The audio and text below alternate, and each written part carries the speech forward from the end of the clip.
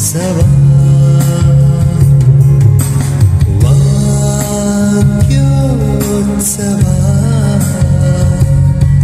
ಇರುವ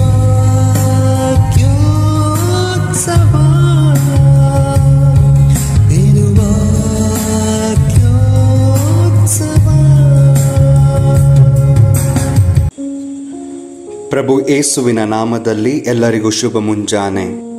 ಬೆಳಗಿನ ಪ್ರಾರ್ಥನೆಯನ್ನು ಆರಂಭಿಸೋಣ. ಸ್ವರ್ಗದ ರಾಣಿಯೇ ಆನಂದಿಸಿರಿ. ಅಲ್ಲಲುಯ್ಯ. ಏಕೆಂದರೆ ಯಾರನ್ನು ನಿಮ್ಮ ಉದರದಲ್ಲಿ ಧರಿಸಲು ನೀವು ಪಾತ್ರರಾದಿರೋ? ಅಲ್ಲಲುಯ್ಯ. ಅವರು ತಾವು ಹೇಳಿದ ಪ್ರಕಾರ ಪುನರುತ್ಥಾನಗೊಂಡಿದ್ದಾರೆ. ಅಲ್ಲಲುಯ್ಯ. ನಮಗಾಗಿ ದೇವರನ್ನು ಪ್ರಾರ್ಥಿಸಿರಿ. ಅಲ್ಲಲುಯ್ಯ. ಪರಿಶುದ್ಧ ಕನ್ಯಾಮರಿಯ ಸಂತೋಷಿಸಿ, ಆನಂದಿಸಿರಿ. ಅಲ್ಲಲುಯ್ಯ. ಏಕೆಂದರೆ ಪ್ರಭು ನಿಜವಾಗಿಯೂ ಪುನರುತ್ಥಾನಗೊಂಡಿದ್ದಾರೆ. ಅಲ್ಲಲುಯ್ಯ. ಪ್ರಾರ್ಥಿಸೋಣ. ದೇವರೇ, ನಿಮ್ಮ ಪುತ್ರರು ನಮ್ಮ ಪ್ರಭು ಆದ ಯೇಸು ಕ್ರಿಸ್ತರ ಪುನರುತ್ಥಾನದಿಂದ ಭುವಿಯನ್ನು ಆನಂದಪಡಿಸಲು ನೀವು ಅನುಗ್ರಹಿಸಿದಿರಿ. ಅವರ ಪರಿಶುದ್ಧ ಕನ್ಯಾಮರಿಯಮ್ಮನವರ ಮೂಲಕ ನಿತ್ಯ ಜೀವದ ಆನಂದವನ್ನು ನಾವು ಪಡೆಯುವಂತೆ ಕರುಣಿಸಬೇಕೆಂದು ನಮ್ಮ ಪ್ರಭು ಏಸು ಕ್ರಿಸ್ತರ ಮುಖಾಂತರ ಪ್ರಾರ್ಥಿಸುತ್ತೇವೆ. ಆಮೆನ್. ಪಿತನಿಗೂ, ಸುತನಿಗೂ ಮತ್ತು ಪವಿತ್ರಾತ್ಮನಿಗೂ ಮಹಿಮೆಯಾಗಲಿ. ಆದಿಯಲ್ಲಿ ಇದ್ದ ಹಾಗೆ ಈಗಲೂ, ಯಾವಾಗಲೂ ಯುಗ ಯುಗಾಂತರಕ್ಕೂ ಆಮೆನ್. ಪಿತನಿಗೂ, ಸುತನಿಗೂ ಮತ್ತು ಪವಿತ್ರಾತ್ಮನಿಗೂ ಮಹಿಮೆಯಾಗಲಿ. ಆದಿಯಲ್ಲಿ ಇದ್ದ ಹಾಗೆ ಈಗಲೂ, ಯಾವಾಗಲೂ ಯುಗ ಯುಗಾಂತರಕ್ಕೂ ಆಮೆನ್. ಪಿತನಿಗೂ, ಸುತನಿಗೂ ಮತ್ತು ಪವಿತ್ರಾತ್ಮನಿಗೂ ಮಹಿಮೆಯಾಗಲಿ. ಆದಿಯಲ್ಲಿದ್ದ ಹಾಗೆ ಈಗಲೂ ಯಾವಾಗಲೂ ಯುಗ ಯುಗಾಂತರಕ್ಕೂ ಆಮೆನ್. ಕಾವಲು ದೂತನ ಪ್ರಾರ್ಥನೆ. ಸರ್ವೇಶ್ವರನ ದೂತರೇ, ನಿಮ್ಮ ದಿವ್ಯ ಕೃಪೆಯ ಕಟಾಕ್ಷದಿಂದ ನಿಮ್ಮ ಚರಣಕ್ಕೆ ಒಪ್ಪಿಸಲ್ಪಟ್ಟಿರುವ ನನಗೆ ಬೆಳಕು ತಂದು ನನ್ನನ್ನು ಕಾದು ನಡೆಸಿ ಪರಿಪಾಲಿಸಿರಿ. ಆಮೆನ್. ದೇವಮಾತೆ ಮರಿಯಮ್ಮನವರಿಗೆ ಸಂಪೂರ್ಣ ಸಮರ್ಪಣೆ. ನನ್ನ ರಾಣಿಯೇ ಮತ್ತು ನನ್ನ ತಾಯಿಯೇ, ಈಗ ನಾನು ನನ್ನನ್ನೇ ಸಂಪೂರ್ಣವಾಗಿ ನಿಮಗರ್ಪಿಸುತ್ತೇನೆ. ನನ್ನ ಭಕ್ತಿಯನ್ನು ನಿಮಗೆ ತೋರ್ಪಡಿಸಲು ಈ ದಿನ ನನ್ನ ಸಮರ್ಪಣೆಯನ್ನು ಮಾಡುತ್ತೇನೆ. ನನಗಾಗಿ ಏನನ್ನು ಉಳಿಸಿಕೊಳ್ಳದೆ, ನನ್ನ ಕಣ್ಣು, ನನ್ನ ಕಿವಿ, ನನ್ನ ಬಾಯಿ, ನನ್ನ ಹೃದಯ ಎಲ್ಲವನ್ನು ನಿಮಗೀಯುತ್ತೇನೆ. ಆದುದರಿಂದ ಓ ನನ್ನ ಪ್ರಿಯ ತಾಯಿಯೇ, ನಾನು ನಿಮಗೆ ಸೇರಿದ್ದೇನೆ. ನಿಮ್ಮ ಸ್ವಂತ ಆಸ್ತಿ ಮತ್ತು ಸೊತ್ತಾಗಿರುವಂತೆ ನನ್ನನ್ನು ಕಾಪಾಡಿ, ರಕ್ಷಿಸಿರಿ. ಆಮೆನ್. ನಮೋ ಮರಿಯ ಕೃಪಾಪೂರ್ಣೆ, ಪ್ರಭು ನಿಮ್ಮೊಡನೆ ಇದ್ದಾರೆ. ಸ್ತ್ರೀಯರಲ್ಲಿ ನೀವು ಧನ್ಯರು ಮತ್ತು ನಿಮ್ಮ ಉದರದ ಫಲವಾದ ಪರಿಶುದ್ಧ ಮರಿಯ ದೇವಮಾತೆಯೇ, ಪಾಪಿಗಳಾಗಿರುವ ನಮಗಾಗಿ ಈಗಲೂ ನಮ್ಮ ಮರಣದ ಸಮಯದಲ್ಲೂ ಪ್ರಾರ್ಥಿಸಿರಿ. ಆಮೆನ್. ಓ ಮಾತೆಯೇ, ನಿಮ್ಮ ನಿಷ್ಕಳಂಕ ಅಮಲೋದ್ಭವದ ಮೂಲಕ ನನ್ನ ದೇಹವನ್ನು ನಿರ್ಮಲಗೊಳಿಸಿರಿ. ಓ ಮಾತೆಯೇ, ನಿಮ್ಮ ನಿಷ್ಕಳಂಕ ಅಮಲೋದ್ಭವದ ಮೂಲಕ ನನ್ನ ದೇಹವನ್ನು ನಿರ್ಮಲಗೊಳಿಸಿರಿ. ಓ ಮಾತೆಯೇ, ನಿಮ್ಮ ನಿಷ್ಕಳಂಕ ಅಮಲೋದ್ಭವದ ಮೂಲಕ ನನ್ನ ದೇಹವನ್ನು ನಿರ್ಮಲಗೊಳಿಸಿರಿ. ಲೂಕನು ಬರೆದ ಶುಭ ಸಂದೇಶದಿಂದ ವಾಚನ ಅಧ್ಯಾಯ ಹದಿಮೂರು. ಪಾಪಕ್ಕೆ ವಿಮುಖರಾಗಿರಿ. ಅದೇ ಸಮಯಕ್ಕೆ ಅಲ್ಲಿದ್ದವರಲ್ಲಿ ಕೆಲವರು ಯೇಸು ಸ್ವಾಮಿಯ ಬಳಿಗೆ ಬಂದು ಬಲಿಯರ್ಪಿಸುತ್ತಾ ಇದ್ದ ಗಲಿಲೇಯದವರನ್ನು ಪಿಲಾತನು ಕೊಲಿಸಿದನೆಂಬ ವಿಷಯವನ್ನು ತಿಳಿಸಿದರು. ಅದಕ್ಕೆ ಯೇಸು, ಇಂಥ ಕೊಲೆಗೆ ಈಡಾದವರು ಇತರ ಎಲ್ಲ ಗಲಿಲೇಯದವರಿಗಿಂತ ಹೆಚ್ಚು ಪಾಪಿಗಳೆಂದು ಭಾವಿಸುತ್ತೀರೋ? ಹಾಗೆ ಭಾವಿಸಕೂಡದು. ನೀವು ಪಶ್ಚಾತ್ತಾಪಪಟ್ಟು ಪಾಪಕ್ಕೆ ವಿಮುಖರಾಗಿ ದೇವರಿಗೆ ಅಭಿಮುಖರಾಗದೆ ಹೋದರೆ ಅವರ ಹಾಗೆಯೇ ನೀವು ನಾಶವಾಗುವಿರಿ.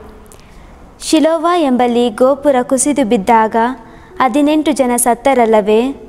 ಅವರು ಜೆರುಸಲೇಮಿನಲ್ಲಿ ವಾಸವಾಗಿರುವ ಇತರ ಎಲ್ಲ ಜನರಿಗಿಂತ ಹೆಚ್ಚು ದೋಷಿಗಳಾಗಿದ್ದಾರೆಂದು ಭಾವಿಸುತ್ತೀರೋ? ಹಾಗಲ್ಲ. ನೀವು ಪಶ್ಚಾತ್ತಾಪಪಟ್ಟು ಪಾಪಕ್ಕೆ ವಿಮುಖರಾಗಿ ದೇವರಿಗೆ ಅಭಿಮುಖರಾಗದಿದ್ದರೆ ಅವರ ಹಾಗೆಯೇ ನೀವು ನಾಶವಾಗುವಿರಿ ಎಂದರು. ಹಣ್ಣು ಬಿಡದ ಅಂಜೂರ ಅನಂತರ ಯೇಸುಸ್ವಾಮಿ ಈ ಸಾಮತಿಯನ್ನು ಹೇಳಿದರು. ಒಬ್ಬನು ತನ್ನ ದ, ದ್ರಾಕ್ಷಿ ತೋಟದಲ್ಲಿ ಒಂದು ಅಂಜೂರದ ಮರವನ್ನು ನಡೆಸಿದ್ದ. ಒಮ್ಮೆ ಅವನು ಬಂದು ಅದರಲ್ಲಿ ಹಣ್ಣನ್ನು ಹುಡುಕಲು ಒಂದೂ ಕಾಣಿಸಲಿಲ್ಲ. ತೋಟಗಾರನನ್ನು ಕರೆದು, ನೋಡು, ಮೂರು ವರ್ಷಗಳಿಂದ ಈ ಮರದಲ್ಲಿ ಹಣ್ಣನ್ನು ಹುಡುಕುತ್ತಾ ಇದ್ದೇನೆ. ಒಂದಾದರೂ ಕಂಡು ಬರಲಿಲ್ಲ ಇನ್ನೂ ಇದನ್ನು ಕಡಿದು ಹಾಕು. ಭೂಮಿಗೆ ಭಾರವಾಗಿ ಅದರ ಸಾರವನ್ನು ಇದೇಕೆ ವ್ಯರ್ಥ ಮಾಡಬೇಕು? ಎಂದು ಹೇಳಿದ. ಅದಕ್ಕೆ ತೋಟಗಾರನು, ಸ್ವಾಮಿ, ಈ ಒಂದು ವರ್ಷ ಇದು ಹಾಗೆಯೇ ಇರಲಿ ಬಿಡಿ. ಅಷ್ಟರಲ್ಲಿ ಸುತ್ತಲೂ ಪಾತಿ ತೆಗೆದು ಗೊಬ್ಬರ ಹಾಕುತ್ತೇನೆ. ಮುಂದಿನ ವರ್ಷ ಹಣ್ಣು ಬಿಟ್ಟರೆ ಸರಿ, ಇಲ್ಲದಿದ್ದರೆ ಕಡಿದು ಹಾಕೋಣ ಎಂದನು. ಗುಣ ಹೊಂದಿದ ಗೂನಿ, ಒಂದು ಸಬ್ಬದ್ದಿನ ಯೇಸುಸ್ವಾಮಿ ಪ್ರಾರ್ಥನಾ ಮಂದಿರದಲ್ಲಿ ಬೋಧಿಸುತ್ತಿದ್ದರು. ಹದಿನೆಂಟು ವರ್ಷಗಳಿಂದ ದೆವ್ವ ಪೀಡಿತಳಾಗಿ ನರಳುತ್ತಿದ್ದ ಒಬ್ಬ ಮಹಿಳೆ ಅಲ್ಲಿದ್ದಳು. ಆಕೆ ಒಬ್ಬ ಗೂನಿ. ನೆಟ್ಟಗೆ ನಿಲ್ಲಲು ಸ್ವಲ್ಪವೂ ಆಗುತ್ತಿರಲಿಲ್ಲ. ಏಸು ಆಕೆಯನ್ನು ನೋಡಿ ಹತ್ತಿರಕ್ಕೆ ಕರೆದು, ನೋಡಮ್ಮ, ನೀನು ವ್ಯಾಧಿಯಿಂದ ಬಿಡುಗಡೆಯಾದೆ ಎಂದು ಹೇಳಿ ಆಕೆಯ ಮೇಲೆ ತಮ್ಮ ಹಸ್ತಗಳನ್ನಿಟ್ಟರು. ತಕ್ಷಣವೇ ಆಕೆ ನೆಟ್ಟಗಾದಳು ಮತ್ತು ದೇವರಿಗೆ ಸ್ತುತಿ ಸ್ತೋತ್ರ ಮಾಡಿದಳು. ಯೇಸು ಸಬ್ಬತ್ ದಿನದಲ್ಲಿ ಗುಣ ಮಾಡಿದ್ದನ್ನು ಕಂಡು ಪ್ರಾರ್ಥನಾ ಮಂದಿರದ ಅಧಿಕಾರಿ ಕುಪಿತನಾದನು. ಕೂಡಿದ್ದ ಜನರನ್ನು ಉದ್ದೇಶಿಸಿ ಕೆಲಸ ಮಾಡಲು ಆರು ದಿನಗಳಿವೆ. ಆ ದಿನಗಳಲ್ಲಿ ಬಂದು ಗುಣ ಮಾಡಿಸಿಕೊಳ್ಳಿರಿ ಸಬ್ಬತ್ ದಿನದಲ್ಲಿ ಮಾತ್ರ ಕೂಡದು ಎಂದನು. ಪ್ರಭು ಅವನಿಗೆ ಪ್ರತ್ಯುತ್ತರವಾಗಿ, ಕಪಟಿಗಳೇ ಸಬ್ಬದ್ದಿನ ನಿಮ್ಮಲ್ಲಿ ಪ್ರತಿಯೊಬ್ಬನು ತನ್ನ ಕತ್ತೆಯನ್ನಾಗಲಿ ಎತ್ತನ್ನಾಗಲಿ ಕೊಟ್ಟಿಗೆಯಿಂದ ಬಿಚ್ಚಿ ನೀರಿಗೆ ಹಿಡಿದುಕೊಂಡು ಹೋಗುವುದಿಲ್ಲವೇ? ಅಬ್ರಹಾಮನ ವಂಶಜಳಾದ ಈಕೆಯನ್ನು ಸೈತಾನನು ಹದಿನೆಂಟು ವರ್ಷಗಳಿಂದ ಕಟ್ಟಿಹಾಕಿದ್ದನು. ಈ ಕಟ್ಟಿನಿಂದ ಈಕೆಯನ್ನು ಸಬ್ಬದ್ದಿನ ಬಿಡಿಸಬಾರದಿತ್ತೆ ಎಂದರು. ಈ ಉತ್ತರವನ್ನು ಕೇಳಿ ಯೇಸುವಿನ ವಿರೋಧಿಗಳೆಲ್ಲರೂ ನಾಚಿದರು. ಜನರ ಕೂಟವಾದರೂ ಅವರು ಮಾಡಿದ ಮಹತ್ ಕಾರ್ಯಗಳನ್ನೆಲ್ಲ ಕಂಡು ಸಂತೋಷಪಟ್ಟಿತು. ಸಾಸಿವೆ ಕಾಳಿನ ಸಾಮತಿ ಆಗ ಯೇಸು ಸ್ವಾಮಿ, ದೇವರ ಸಾಮ್ರಾಜ್ಯವು ಏನನ್ನು ಹೋಲುತ್ತದೆ? ಅದನ್ನು ಯಾವುದಕ್ಕೆ ಹೋಲಿಸಲಿ? ಅದು ಒಂದು ಸಾಸಿವೆ ಕಾಳಿನಂತೆ ಇದೆ. ಒಬ್ಬನು ಅದನ್ನು ತೆಗೆದುಕೊಂಡು ಹೋಗಿ ತನ್ನ ತೋಟದಲ್ಲಿ ಬಿತ್ತಿದನು. ಅದು ಬೆಳೆದು ಮರವಾಯಿತು. ಆಕಾಶದಲ್ಲಿ ಹಾರಾಡುವ ಪಕ್ಷಿಗಳು ಅದರ ರೆಂಬೆಗಳಲ್ಲಿ ಗೂಡು ಕಟ್ಟಿ ವಾಸ ಮಾಡತೊಡಗಿದವು ಎಂದರು. ಹುಳಿ ಹಿಟ್ಟಿನ ಸಾಮತಿ ಪುನಃ ಯೇಸು ಸ್ವಾಮಿ ದೇವರ ಸಾಮ್ರಾಜ್ಯವನ್ನು ಯಾವುದಕ್ಕೆ ಹೋಲಿಸಲಿ? ಅದು ಹುಳಿ ಹಿಟ್ಟಿನಂತೆ ಇದೆ. ಅದನ್ನು ಒಬ್ಬಾಕೆ ತೆಗೆದುಕೊಂಡು ಮೂರು ಸೇರು ಹಿಟ್ಟಿನಲ್ಲಿ ಕಲಸಿದಳು. ಆ ಹಿಟ್ಟೆಲ್ಲ ಉಳಿಯಾಯಿತು ಎಂದರು. ಇಕ್ಕಟ್ಟಾದ ಬಾಗಿಲು. ಯೇಸುಸ್ವಾಮಿ ಊರುಗಳಲ್ಲೂ, ಹಳ್ಳಿ ಹಳ್ಳಿಗಳಲ್ಲೂ ಉಪದೇಶ ಮಾಡಿಕೊಂಡು ಜೆರುಸಲೇಮಿನತ್ತ ಪ್ರಯಾಣ ಮಾಡುತ್ತಿದ್ದರು. ಆಗ ಒಬ್ಬನು, ಸ್ವಾಮಿ, ಜೀವೋದ್ಧಾರ ಹೊಂದುವವರು ಕೆಲವರು ಮಾತ್ರವೋ? ಎಂದು ವಿಚಾರಿಸಿದನು. ಆಗ ಏಸು ಜನರಿಗೆ, ಇಕ್ಕಟ್ಟಾದ ಬಾಗಿಲಿನಿಂದಲೇ ಒಳಹೋಗಲು ಸರ್ವ ಪ್ರಯತ್ನ ಮಾಡಿ. ಏಕೆಂದರೆ, ಅನೇಕರು ಒಳಕ್ಕೆ ಹೋಗಲು ಖಂಡಿತವಾಗಿ ಪ್ರಯತ್ನಿಸುವರು. ಆದರೆ ಅದು ಅವರಿಂದಾಗದು. ಮನೆಯ ಯಜಮಾನನು ಎದ್ದು ಬಾಗಿಲನ್ನು ಮುಚ್ಚಿದ ಮೇಲೆ ನೀವು ಹೊರಗಡೆ ನಿಲ್ಲಬೇಕಾಗುವುದು. ಬಾಗಿಲನ್ನು ತಟ್ಟುತ್ತಾ, ಸ್ವಾಮಿ, ನಮಗೆ ಬಾಗಿಲು ತೆಗೆಯಿರಿ ಎಂದು ನೀವು ಕೇಳುವಿರಿ. ಅದಕ್ಕೆ ಅವನು, ನೀವು ಎಲ್ಲಿಯವರೋ ನಾನು ಅರಿಯೆ ಎನ್ನುವನು. ಆಗ ನೀವು, ನಿಮ್ಮೊಂದಿಗೆ ನಾವು ಊಟ ಮಾಡಿದ್ದೇವೆ, ಪಾನ ಮಾಡಿದ್ದೇವೆ, ನೀವು ನಮ್ಮ ಬೀದಿಗಳಲ್ಲಿ ಉಪಚಾರ ಮಾಡಿದ್ದೀರಿ ಎಂದು ಹೇಳಲಾರಂಭಿಸುವಿರಿ. ಆದರೆ ಅವನು ಪುನಃ, ನೀವು ಎಲ್ಲಿಯವರೋ ನಾನರಿಯೇ, ಅಕ್ರಮಿಗಳೇ, ಎಲ್ಲರೂ ನನ್ನಿಂದ ತೊಲಗಿರಿ ಎಂದು ಸ್ಪಷ್ಟವಾಗಿ ನುಡಿಯುವನು. ಅಬ್ರಹಾಮ, ಇಸಾಕ, ಯಾಕೋಬ ಮತ್ತು ಎಲ್ಲ ಪ್ರವಾದಿಗಳು ದೇವರ ಸಾಮ್ರಾಜ್ಯದಲ್ಲಿ ಇರುವುದನ್ನು, ನಿಮ್ಮನ್ನು ಮಾತ್ರ ಹೊರಗೆ ಹಾಕಿರುವುದನ್ನು ನೋಡುವಾಗ ನಿಮಗಾಗುವ ಗೋಳಾಟವೇನು, ಹಲ್ಲು ಕಡಿತವೇನು? ಚತುರ್ದಿಕ್ಕುಗಳಿಂದಲೂ ಜನರು ಬಂದು ದೇವರ ಸಾಮ್ರಾಜ್ಯದ ಹಬ್ಬದೂಟದಲ್ಲಿ ಭಾಗಿಗಳಾಗುವರು. ಇಗೋ, ಕಡೆಯವರಲ್ಲಿ ಕೆಲವರು ಮೊದಲಿಗರಾಗುವರು, ಮೊದಲಿಗರಲ್ಲಿ ಕೆಲವರು ಕಡೆಯವರಾಗುವರು ಎಂದರು. ಜೆರುಸಲೇಮನ್ನು ಕುರಿತು ಪ್ರಲಾಪ. ಅದೇ ಸಮಯಕ್ಕೆ ಸರಿಯಾಗಿ ಕೆಲವು ಮಂದಿ ಫರಿಸಾಯರು ಏಸು ಸ್ವಾಮಿಯ ಬಳಿಗೆ ಬಂದು, ಇಲ್ಲಿಂದ ಹೊರಟು ಹೋಗಿ ಬಿಡಿ, ಹೆರೋದನು ನಿಮ್ಮನ್ನು ಕೊಲ್ಲಬೇಕೆಂದಿದ್ದಾನೆ ಎಂದರು. ಅದಕ್ಕೆ ಯೇಸು, ನೀವು ಹೋಗಿ ಆ ನರಿಗೆ ಹೀಗೆಂದು ತಿಳಿಸಿರಿ, ಇಂದು ಮತ್ತು ನಾಳೆ ದೆವ್ವಗಳನ್ನು ಬಿಡಿಸುತ್ತೇನೆ, ರೋಗಿಗಳನ್ನು ಗುಣಪಡಿಸುತ್ತೇನೆ, ಮೂರನೆಯ ದಿನ ನನ್ನ ಕಾರ್ಯಸಿದ್ಧಿಗೆ ಬರುವುದು. ಹೇಗೂ ಇಂದು, ನಾಳೆ ಮತ್ತು ನಾಡಿದ್ದು ನಾನು ನನ್ನ ಮಾರ್ಗವನ್ನು ಮುಂದುವರಿಸಬೇಕು. ಪ್ರವಾದಿಯಾದವನು ಜೆರುಸಲೇಮಿನ ಹೊರಗೆ ಕೊಲೆಗೀಡಾಗುವುದು ಸಲ್ಲದು. ಓ ಜೆರುಸಲೇಮೆ ಜೆರುಸಲೇಮೆ, ಪ್ರವಾದಿಗಳ ಕೊಲೆ ಪಾತಕಿಯೇ, ದೇವರು ನಿನ್ನ ಬಳಿಗೆ ಕಳಿಸಿದವರನ್ನು ಕಲ್ಲುಗಳಿಂದ ಒಡೆಯುವವಳೆ, ಕೋಳಿ ತನ್ನ ಮರಿಗಳನ್ನು ರೆಕ್ಕೆಗಳಡಿ ಸೇರಿಸಿಕೊಳ್ಳುವಂತೆ ನಾನು ನಿನ್ನ ಮಕ್ಕಳನ್ನು ಒಂದಾಗಿ ಸೇರಿಸಿ ಅಪ್ಪಿಕೊಳ್ಳಲು ಎಷ್ಟೋ ಬಾರಿ ಅಪೇಕ್ಷಿಸಿದೆ. ಆದರೆ ನೀನು ಒಪ್ಪಲಿಲ್ಲ. ಇಗೋ, ನಿಮ್ಮ ದೇವಾಲಯ ಪಾಳು ಬೀಳುವುದು. ಸರ್ವೇಶ್ವರನ ನಾಮದಲ್ಲಿ ಬರುವವರು ಧನ್ಯರು ಎಂದು ನೀವಾಗಿ ಹೇಳುವ ದಿನದವರೆಗೂ ನೀವು ನನ್ನನ್ನು ಕಾಣಲಾರಿರಿ ಎಂಬುದು ನಿಶ್ಚಯ ಎಂದರು.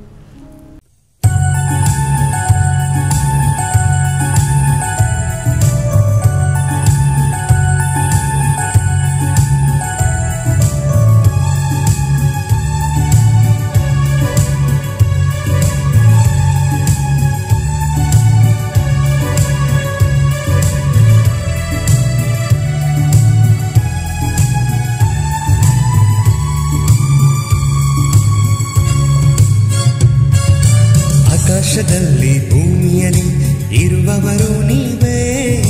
ನನ್ನಲ್ಲಿ, ನನ್ನ ಬಾಳಲ್ಲಿ ಇರುವವರು ನೀವೇ. ಆಕಾಶದಲ್ಲಿ, ಭೂಮಿಯಲ್ಲಿ ಇರುವವರು ನೀವೇ. ನನ್ನಲ್ಲಿ, ನನ್ನ ಬಾಳಲ್ಲಿ ಇರುವವರು ನೀವೇ. Alleluia alleluia alleluia alleluia alleluia alleluia ನನ್ನ ಯೇಸು hallelujah.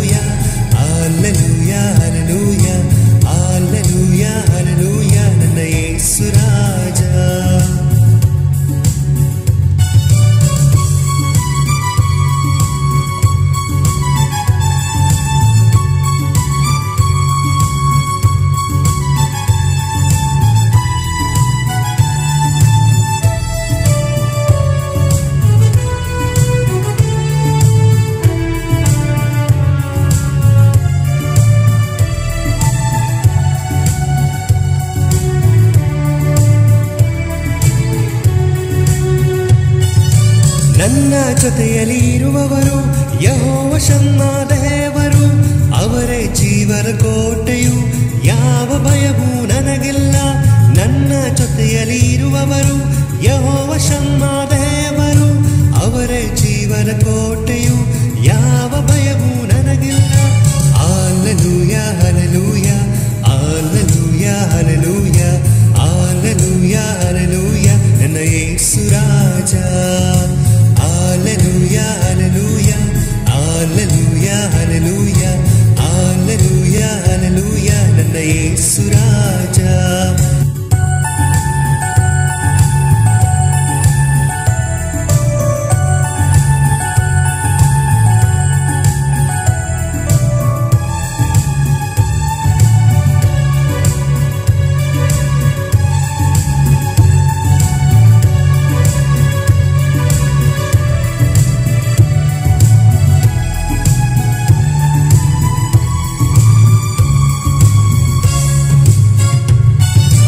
ಎಲ್ಲ ಜಯವೂ ನೀಡಿದರು. ಯಹೋವನಿಸಿಯ ದೇವರು. ಎಲ್ಲ ನನ್ನ ಮಾರ್ಗದಲ್ಲಿ ಸಂಗಡವಿರುವ ರಾಜನು. ಎಲ್ಲ ಜಯವೂ ನೀಡಿದರು. ಯಹೋವನಿಸಿಯ ದೇವರು. ಎಲ್ಲ ನನ್ನ ಮಾರ್ಗದಲ್ಲಿ ಸಂಗಡವಿರುವ